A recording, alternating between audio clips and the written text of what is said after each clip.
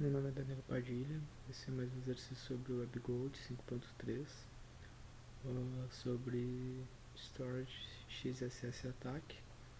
O exercício consiste em a gente gravar uma mensagem e no momento que o usuário clicar, ele exibir, executar o comando XSS. Então, vou digitar aqui WebGold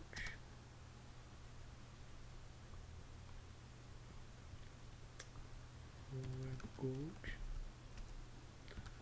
O código a gente vai usar um sugerido.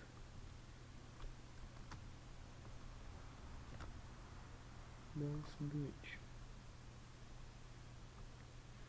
Feito isso, a gente clica aqui no WebGold. Ele dá a mensagem dizendo que foi completado com sucesso esse exercício.